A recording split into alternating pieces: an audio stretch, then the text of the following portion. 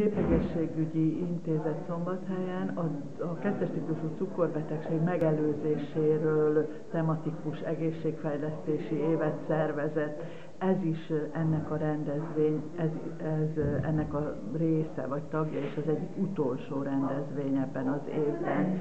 Szeretnénk fókuszba helyezni, hogy a kettes típusú cukorbetegség megelőzéséért már fiatal korban is tenni kell. Az Orlai Iskola volt befogadója ennek a programnak, 18 év feletti hallgatói köréből, akik a családi körből már ismerték a cukorbetegséget, ők vállalkoztak a szűrés bemutatásra.